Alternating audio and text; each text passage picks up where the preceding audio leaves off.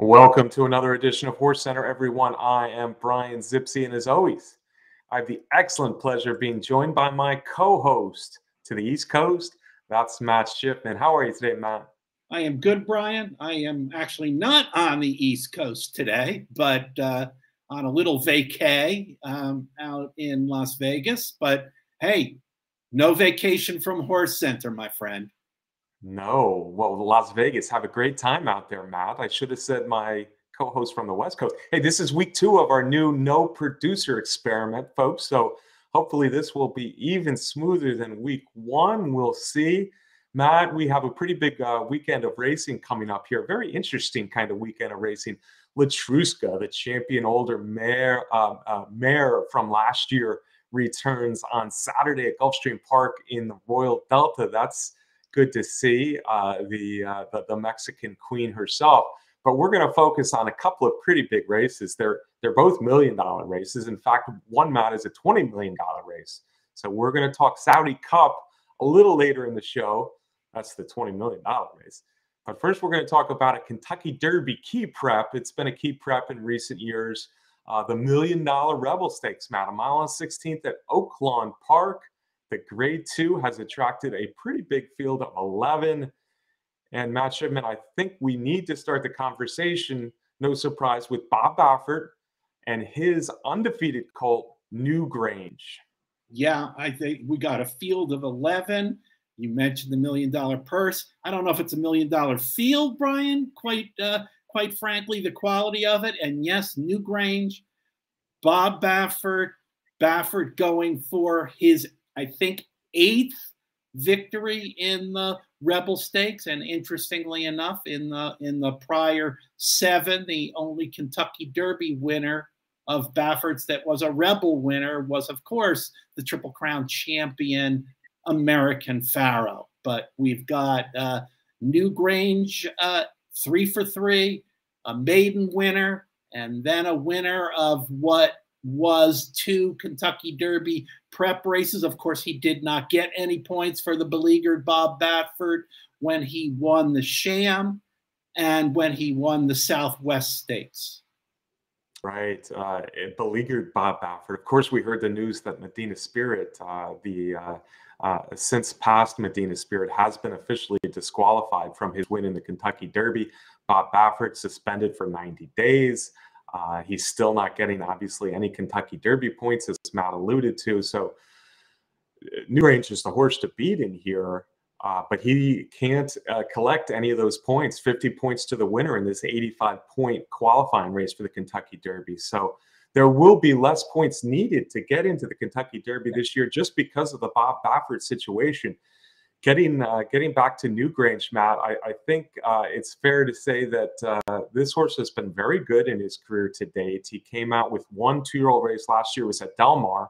He's he's run at three different tracks. He's won pretty convincingly in all three. Uh, not a lot of people are talking about him. I don't know if it's strictly the fact that he is a uh, Baffert horse not collecting points, but I think that's only part of it. Newgrange has not been maybe spectacular like some Bafferts have been over the years in his three wins, but uh, he looked good in the maiden. He looked good in winning the Sham at Santa Anita.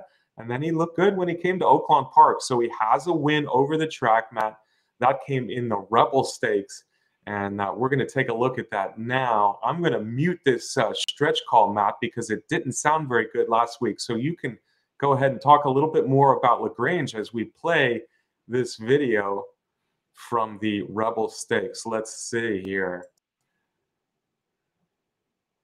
Yeah, Brian. Uh, you know, uh, maybe the the thing with uh, Newgrange is uh, the fact that yes, his, he has won very solidly, but maybe one of the things is that his uh, his races were just not that fast. They haven't produced speed figures that are typical at this point of horses that are going to go on and have success in the Derby there. He is winning the Southwest Stakes by you know, a little bit more than a length.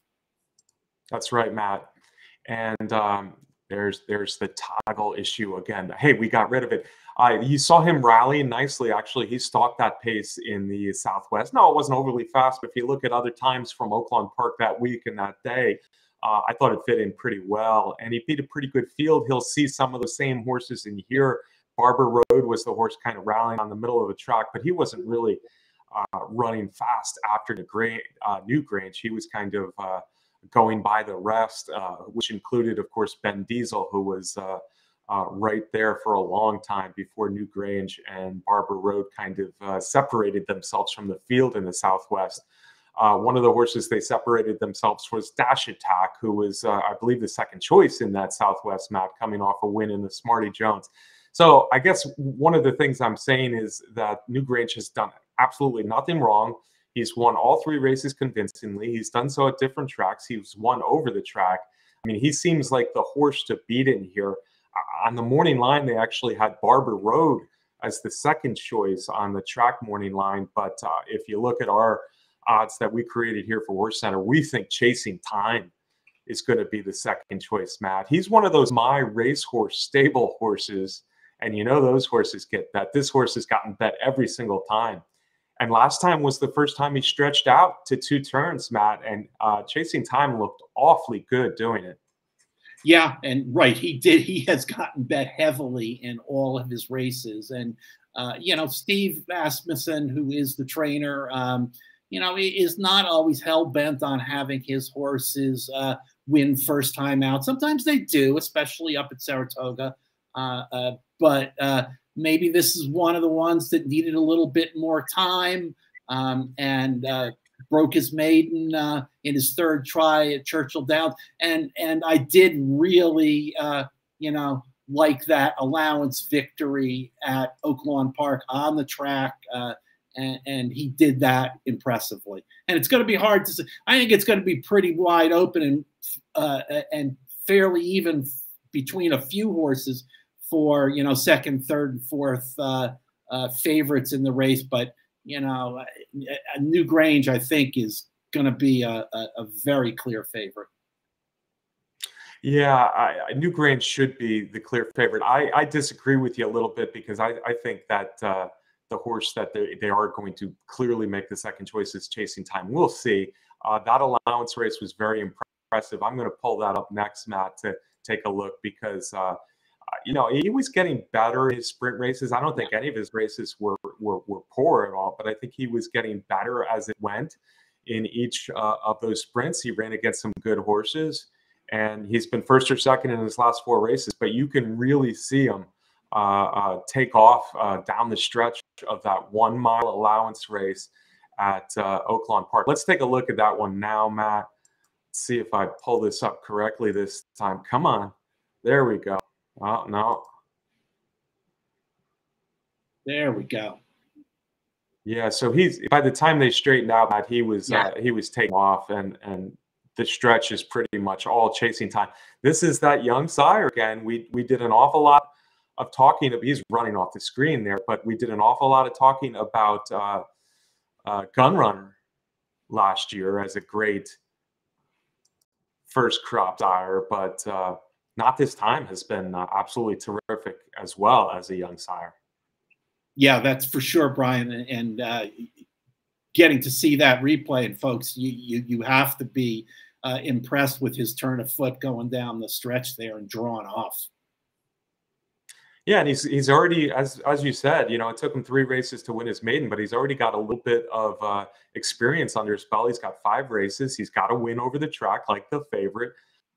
Uh, and he's uh, now looking like a horse who wants to run a distance. I think that only helps as we're looking at him uh, maturing and getting better, a little bit better with age here. So I think Chasing Time is an interesting horse in here. I just worry about the value, and part of that is the My Racehorse Stable partnership. All his owners, yeah. I think that's one of the reasons he gets bet so heavily every race, Matt. We already talked a little bit about Barber Road, uh, a nice horse, a nice son of uh, Race Day, who second and third starts, uh, he was very impressive, uh, winning an a maiden and allowance. And then he's running three straight stakes where he's run second each time. Barber Road, we saw rallying behind Newgrange in the Southwest, but he's actually run second three straight times. I think the Southwest was his best yet another horse with a little bit of experience. Uh, he he's the one that I would look to be the third choice in here. Uh, Barber Road is a horse who looks like he's becoming more of a uh, late runner as he gets more experienced as well. Yeah, second, as you mentioned, in the Southwest, second in the Smarty Jones, second in a uh, overnight stake at Churchill Downs. Uh, you know, not fine in the winner's circle, and and this field, uh, you know, is not going to be any uh, any easier than those race, races mentioned before. But a very nice horse. Yeah, yeah, one to one to watch out for, especially if you're playing the exa- uh, exotics. And Barber Road looks like a logical horse here in this 11 horse field. I also th- I think we've identified the three favorites in Newgrange, Chasing Time, and Barber Road, but I think there are a bunch of interesting long shots. Uh, we could start with Dash Attack. I, I, don't know if you'd call him a long shot for sure because he won a stakes race already at Oaklawn Park, but I think the last race is disappointing, and I think he's going to get off at some pretty good odds. The son of Munnings yeah, a little bit of a head scratcher horse for me. Uh, won his first two races, maiden special weight, and then the Smarty Jones. Both of those races were uh, on wet tracks for Kenny McPeek, and then he came back on a fast track in the uh, for the first time in the Southwest Stakes, and was, I guess, a disappointing fifth in there. So, not sure what to think about that. Was it the step up in clan? Uh, uh, class, a little bit tougher race in the Southwest? Was it the fact that it was a fast track and, and not a track with moisture in it? Um, I don't know. Uh, we'll have to see about Dash Attack, but I think I like others better. Yeah, I like others better too. Uh, he broke his maiden first time at Oaklawn. He's the most experienced horse at Oaklawn because all three of his races have come at Oaklawn. His first race was on a good uh, labeled uh, good main track at Oaklawn Park where he broke his maiden first time out. Then it was the sloppy uh, Smarty Jones where he looked good rallying by the field in the stretch. But then he finally got a fast track and it wasn't so good. And I, I'm, I'm going to say more than just, uh, I guess, a disappointment. It was a disappointment because he was a non threatening horse the whole entire way.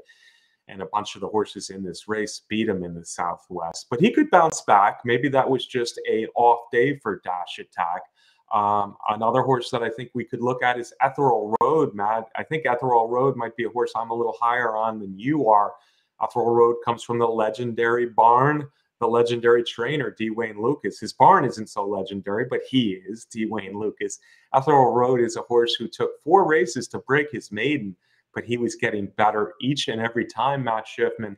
Son of Quality Road last time was a very big performance in breaking his maiden on the same day as the Southwest, where he came from way back and just blew the field away in the stretch. One going away looked like a stakes horse to me, but it was only against maidens. Yeah, and it was a nice performance. Brian drew off to win by four lengths for the Hall of Famer, for the coach D. Wayne Lukas, who was in his mid 80s at this point, and and you know not missing a beat. So it's great to have him in the field, of course. Uh, he'll be going for his third win uh, in the Rebel, the most recent one coming, I think it was in 2013 with Will Take Charge, who is the sire of one of the horses in this field. Yeah, Will Take Charge was an awfully nice uh, horse for D. Wayne. Uh, yeah, nine nine years ago, I think that's I think that's about right, Matt. Another long shot we could talk about, uh, I guess, is the New York bred. You always like New York breds, Matt. That's Un Ojo, uh, trained by uh, uh, Anthony Dutrow, and coming off his best race yet, I think, uh, when he was uh, second last time in the Withers at Aqueduct. Yes, and we saw a New York bred named Shipsational run really well, run second in the Holy Bull last month. So you, you can't just dismiss these New York breds because of that. And and um, Un, Ojo uh, ran really well in a New York Stallion Series stakes race, uh, and then stepped up in the Withers in uh, uh, going nine furlongs. Um, I can't dismiss him. I, I, I think he's a little bit of a live long shot, particularly. Yeah, you can you should get some good odds in there on that one. Not um, the Withers, you know, he never certainly was threatening the winner, but uh, he he did roll down the stretch pretty well to be a clear second. Uh, the only horse really gaining on the easy winner last time. So Un Ojo, an interesting long shot for Matt, and I, I want to throw in Stellar Top, Matt, because uh, Stellar Top is a bit of an interesting long shot for me. Stellar Top was a very well bred, very impressive winner of his debut at Saratoga last year, and he uh, he was thrown to the wolves pretty quickly. He faded out of a couple of graded stakes yeah. in Kentucky after that, and he returned after a layoff last time. He ran third in an allowance race, but uh, the winner was Pioneer of Medina, who ran a very good race next time out in the Risen Star. Uh, Stellar Top was only beaten by two lengths in that allowance race at Fairgrounds. So I think uh, Stellar Top is a horse who could pop up and show improvement second time off the layoff. Perhaps another interesting long shot in this Rebel field. Yeah, I agree. I think Pioneer of Medina is, was another one of many uh, promising Pletcher uh, three-year-olds. Absolutely. All right, Matt. Uh, I think we've been through the horses we like. We've been through the main candidates. I'm going to ask you to pick uh, your top pick or or your top exacta here, one or the other. Give me either one in this year's Million Dollar Rebel Saturday at uh, Oaklawn Park. Yeah, even though Newgrange seems, you know, like the most likely winner uh, in this field, uh, and I feel like there were a number of horses as I was handicapping where the question came into my mind is why why are they going to do any better now in this field after they've already, you know, run not very well in Derby Trail races and stakes races. Um, so uh, I am going to try and take a shot against Newgrange uh, because there's so much turmoil going on in the Baffert barn, but mainly because you know the the the speed figures in his races have not been overly impressive. I'm going to take a shot with uh, Chasing Time because of what we said, we, we saw in that video replay. He he looked strong down the stretch. Yeah, chasing time certainly is one I will use, Matt. I'm going to spread out a little bit here. I do think Newgrange, Newgrange is certainly the horse to beat. So Newgrange uh, will be one of the horses I use, uh, needing to run first and second. Chasing time and Barber Road certainly and and Stellar Top will be another one that I throw in with my exactas. But the other horse I'm really going to use the most with Newgrange, the favorite, I'm hoping for 10 to 1 or so on the Lukas horse. I just really like the way that Ethereal Road finished off that race. You know, he ran a second, about a second slower uh, in that maiden win, which isn't a lot. A mile 16th, a second slower than the graded stakes that same day, the Southwest, when Newgrange won pretty impressively, but uh, he he was coming off a much slower pace when he came from way back in that maiden race. So he actually finished quite a bit faster the last quarter mile of his maiden win than they did in that Southwest Stakes. So I'll be using Newgrange and Ethereal Road the most here in the. Uh, what's the name of the race, Matt? The Rebels. See, I'm trying to look up at all my there. I'm I'm putting up a new screen for Matt. We it's time to shift to the Saudi Cup. That's what that screen tells us. We're going to go right into the Saudi Cup, sir. And $20 million. It's the richest race in the world. We have the defending champion. And, and with $20 million, Matt, it should come as no surprise that if Mishriff, the really good European based uh, son of uh, Make Believe, trained by John Gosden, if he wins this race, he will become the richest horse of all time. Yeah, I heard that, Brian. Well, you know, uh, with 14 win, 14 starts and seven wins, two seconds and two thirds already in his career, he has piled up 15.2 million dollars in earnings. Of course, you know, two thirds of that coming from his uh, Saudi Cup victory last year, uh, um, and he's coming into the Saudi Cup this year. Kind of the, the same pattern that he uh, that he had last year, um, with this being his first start of this of the year of the race since October of the prior year. And I want to say that you know the the draw for the Saudi Cup is probably is going on as we're recording the show. So we're going to give you some highlights of of the most significant horses that we see in the field, and that's why we're starting with uh, Mishriff. Yeah, absolutely. Mishriff is the class of the race. I, am going to say two things that are slightly opposing each other, but Mishriff is the class of the race. On the other hand, nine furlongs on the dirt, I still like the Americans best. I know that Mishriff ran right by Go and then Charlatan on his way to a win there last year. I know Mishriff has uh, has run well at this track, even besides winning last year's Saudi Cup, and obviously he's a horse who can run on both turf and dirt. So Mishriff is the horse to beat in here. Uh, yeah, it's a pretty long layoff, but as Matt says, he's done it before, and last uh, last year's race was an impressive win. But nine furlongs on the dirt, I still believe the Americans, especially at, at, at nine furlongs. Maybe maybe going longer, it gets a little bit easier for the top internationals to beat us. But at nine furlongs on the dirt, I still like the Americans bet. But, but having said that, Mishriff is the one to beat. Matt, I'm going to put up the uh, uh, Saudi Cup from last year because it was an impressive performance from Mishriff. Yeah, especially Brian, when you mentioned, as you did, the quality American horses that Mishriff uh, de- defeated in Go, in Charlatan in particular, coming down the stretch. But uh, uh, there goes Mishriff on, on the way to a very big payday. Yeah, and it, it was a good performance. Um, Go, I guess we've seen uh, when he doesn't control the lead, he's not quite the same horse. And Charlatan, I, you know, I guess, I guess we're not really never found out for sure how good Charlatan was going to be uh, at two turns. We know he was very, very good, but was he going to be a champion type of horse before we retired? We don't know. So I'm not sure that this is easier. I'm not sure that, this is tougher than last year. It remains to be seen. I know we do have a stronger, a, a deeper cast of Americans this year, Matt, because I think I think there's four potential winners uh, from the Americans coming in, and we can probably start talking about the the horse to beat of the Americans, and, and I think that's the horse pictured here in our graphic. That's Mandaloun, who we just found out now is the official Kentucky Derby winner. Finally, the official Kentucky Derby winner from 2021.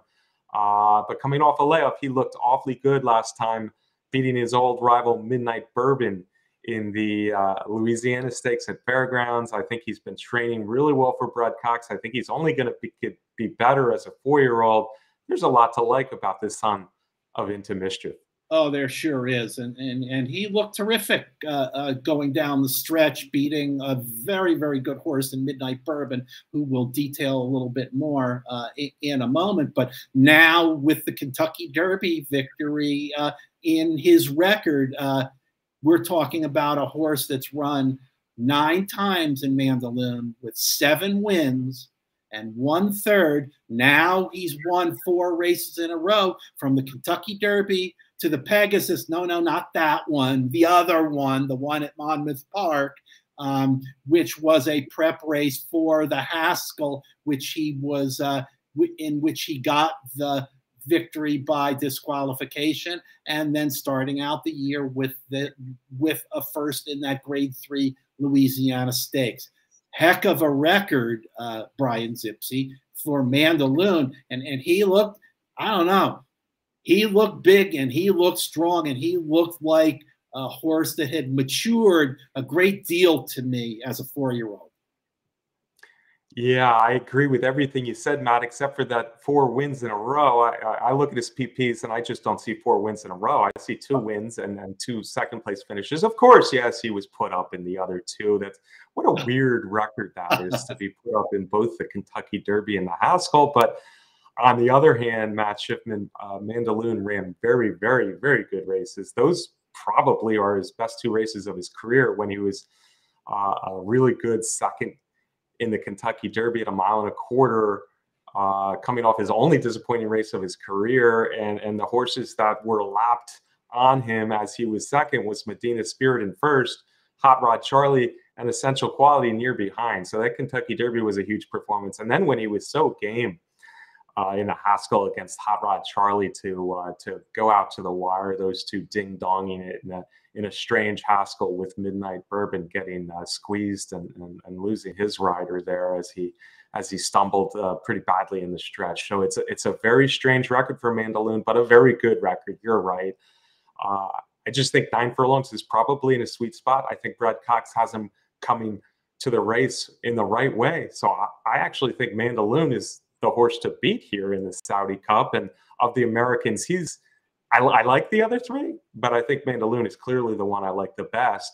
Maybe Art Collector is the next most interesting on the race. Matt, he won the nine furlong Woodward last year quite impressively, beat a horse I love in Maxfield. Art Collector just hasn't quite done it on the biggest stages yet, and he hasn't been seen since his Breeders' Cup Classic, which wasn't great. Yeah, uh, uh, 16 wins in his 16 starts in his career, eight wins. You mentioned that Woodward. He also won the Charlestown Classic. Uh, but yes, I agree with what you said. That that is my overall reaction with Art Collector, particularly when you're going into a race uh, the quality of the Saudi Cup. Um, I haven't seen him win one of those kind of races. Although, if he can come up with the kind of performance in the Woodward that it took to beat a very, very good horse like Maxfield, um, he could run well. Yeah.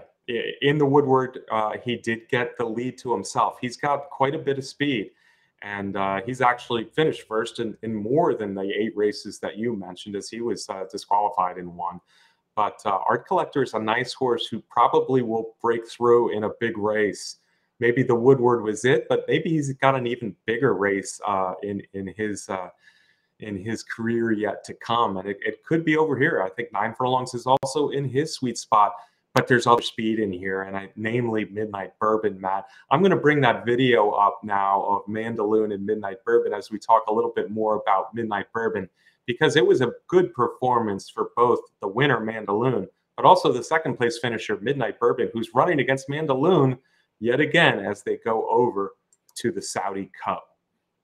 Yeah, and and in that race, yet again, Midnight Bourbon uh, showing up and competing, and you know we've talked about Midnight Bourbon before, and we've talked about mentioned the fact that his last win came more than a year ago now in the Lecomte Stakes at Fairgrounds on the Kentucky Derby Trail. Uh, um, he shows up, he runs well. Only two trips to the winner's circle, however.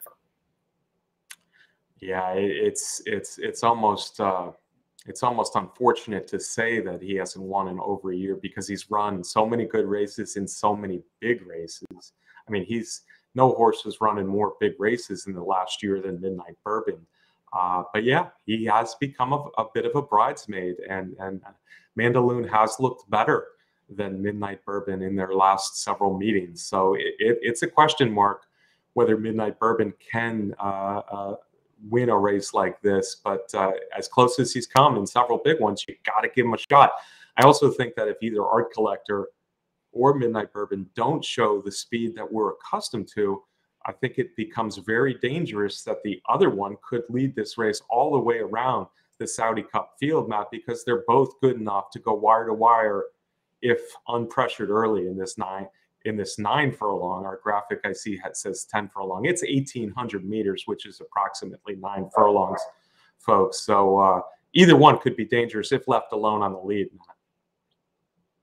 Yeah, I can't argue with that. It's going to be interesting to see how this race plays out. And with any of these with any of these races over in the Middle East, you know, uh, we'll see how the Americans fare when they're shipping over to uh, Saudi. Yeah, yeah, you never know for sure. It looks like uh, everyone's coming smoothly. Uh, I guess they arrived together. The four, the one we haven't talked about is Country Grammar. I, I don't know what to think uh, necessarily about Country Grammar. He won the Peter Pan as a three year old, he won the Gold Cup uh, at Santa Anita uh, as a four year old. But on the other hand, he hasn't run since the Gold Cup, which was last May. Yeah, yes, Brian, absolutely. Won the Gold Cup won the Peter Pan. Uh, I guess I guess that points out that he he's a good traveler, and that's going to be a, a, plus for Country Grammar. But wow, yeah, that is a long, long layoff to be ready to uh, to be a contender in a race like this. Yeah, I think so too. But if he comes back, if Baffert has him, he's back in the Baffert barn, by the way, now. If Baffert yes. has him ready, he's another dangerous horse. All four Americans are. There's several other international horses to worry about in here, Matt. Uh, I think we need to talk about the Japanese pair because Marche Lorraine, I, I didn't think she was going to win the Breeders' Cup Distaff, and she pulled it off. She won. It was tight, but she won that Breeders' Cup Distaff. But maybe even more dangerous is T O Keynes who uh, won the Champions Cup uh, over there in Japan on the dirt really nicely. Uh, I guess that was in December, so he might be the the biggest threat after uh, Mishriff of the uh, of the international horses.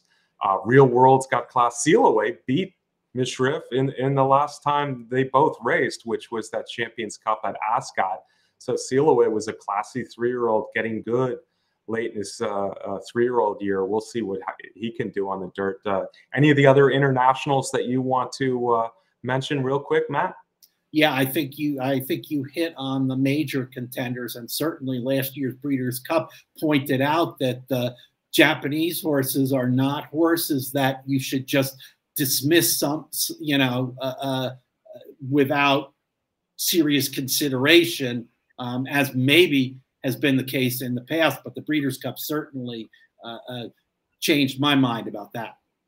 Yeah, well, I still like him on turf, and, and we both like the winner Loves Only You of the Breeders' Cup Filly Mare turf. But I, I, don't think there were many people, frankly, that thought Marche Lorraine was going to win the distaff. This is her swan song, her final race, and they're going out in even tougher com- competition than the Breeders' Cup distaff was, and that was a uh, that was a tough one. All right, Matt. Uh, another one, Magny Cours, I think is a is an international horse who we know can handle the dirt as well. So I wouldn't be surprised if he ran a good race either. It's a nice field for the Saudi Cup. I think folks already know who I'm going with, but they really want to know who you like best in the Saudi Cup now. Yeah, I'm gonna stick with the Americans on the dirt, and and uh, I am also going to go with Mandaloun. All right, folks. It's uh, it's unanimous. The Horse Center crew both is picking the American Mandaloun to win the $20 million Saudi Cup. And we hope all of the horses have a safe race, but we also hope all four Americans do well and come back and run well when they uh, acclimate back to American racing in the next few months. That was a pretty big show, Matt. With the uh, we're talking about two very interesting million dollar races: the Rebel and the Saudi Cup. We gave our top picks. Let me get a parting shot from you, my friend. Yeah, I think we did pretty good with the show uh, here, uh, Brian, and I hope the Horse Center fans enjoyed it. I, I think there's going to be plenty to talk about on the Kentucky Derby Trail as we move ho- as we move forward. Now that uh, uh there's been some rulings uh, involving Bob Baffert, we'll see what is going to happen uh, with his horses on the Kentucky Derby Trail. So, anyway, my point is thank you, folks, for watching the show. Yeah, thank you as always for watching. We sure do appreciate it. If you haven't uh, subscribed yet to our YouTube channel here at Horse Racing Nation, please do so now. Turn those notifications on. Never miss another episode of Horse Center. Thanks to Candace Curtis for the graphics.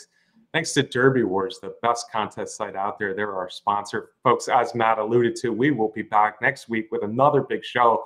We'll be talking Kentucky Derby rankings. We'll be talking Kentucky Derby preps. There's a gaggle of preps next week, folks. We'll see you then right here on Horse Center. Punches drop back in Spa City as these leaders